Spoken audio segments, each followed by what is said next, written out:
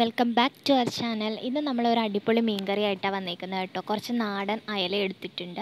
നമുക്കിതിലേക്ക് വേണ്ട ഇൻഗ്രീഡിയൻസ് കറിവേപ്പില വേണം ഇഞ്ചി ചെറിയുള്ളി വെളുത്തുള്ളി പിന്നെ കുടംപുളി വേണം. രണ്ട് കഷ്ണം കുടംപുളിയാണ് ഞാനിവിടെ എടുത്തിട്ടുള്ളത്. അത് വെള്ളത്തിൽ ഇട്ട് വെച്ചിട്ടുണ്ട്. പിന്നെ നമുക്ക് വേണ്ടത് ഒരു ആറ് ടേബിൾ സ്പൂൺ മുളക് പൊടിയാണ്. ഒരു ടേബിൾ സ്പൂൺ മഞ്ഞൾപ്പൊടിയും വേണം. അപ്പോൾ നമുക്ക് കുക്കിങ് സ്റ്റാർട്ട് ചെയ്താലോ? റെഡി? ചട്ടി അടുപ്പത്ത് വയ്ക്കാം അതിലേക്ക് എണ്ണ ഒഴിക്കാം. എണ്ണ ചൂടായതിന് ശേഷം നമുക്ക് കടുകും ഉലുവയും ഇട്ട് കൊടുക്കാം. ശേഷം അത് നന്നായി പൊട്ടി വരുമ്പോൾ നമുക്ക് ഇഞ്ചി കറിവേപ്പില ചെറിയുള്ളി വെളുത്തുള്ളി ഇതെല്ലാം ആഡ് ചെയ്ത് കൊടുക്കാം. അത് നന്നായി മൂത്ത് വരുമ്പോൾ നമുക്ക് മുളക് പൊടിയും മഞ്ഞൾപ്പൊടി ഇട്ട് നല്ലതുപോലെ വഴറ്റിയെടുക്കാം.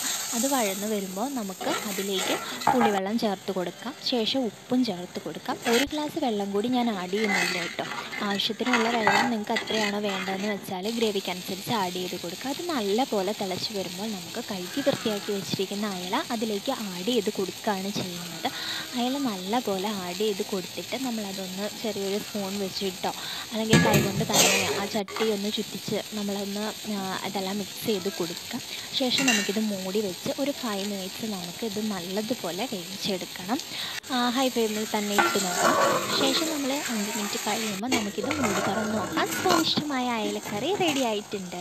എല്ലാവരും ട്രൈ ചെയ്ത് നോക്കാം.